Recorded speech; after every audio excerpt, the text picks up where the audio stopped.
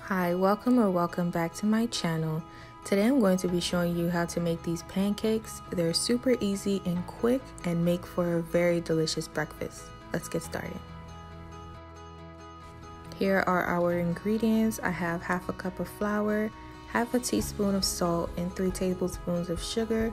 In my cup, I have half a teaspoon of melted butter. This is optional. I have one large egg and six ounces of milk.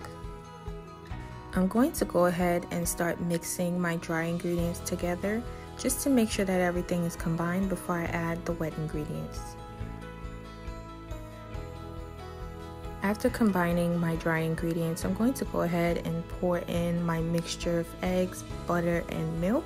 And I'm going to go ahead and mix this until everything is smooth and there are no lumps in it.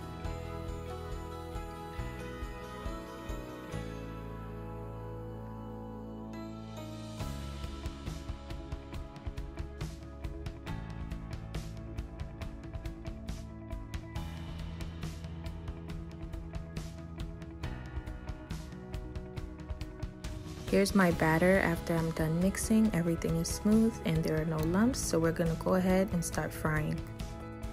On low to medium heat, I'm going to add a little bit of oil to my pan. You can use butter if you choose. I'm just doing this just to grease the bottom of the pan so it doesn't burn when we pour the batter in. But I'm going to go ahead and pour in my batter. I'm going to pour in a little bit at a time and then I'm going to go ahead and spread the batter just so it covers the whole bottom of the pan.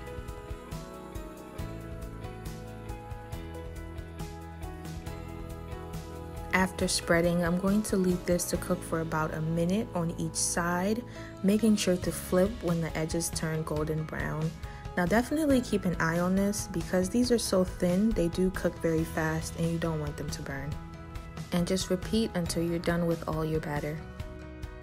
And here are my finished pancakes. I went ahead and rolled them up. Now you can definitely go ahead and eat them like this, but what I did is I went ahead and served this with a side of eggs and drizzled some syrup on them. These are super tasty and so easy to make and they make such a great breakfast. So if you're looking for an easy breakfast idea, definitely go ahead and try these out. And if you enjoyed this video, hit the like button and subscribe. Thank you.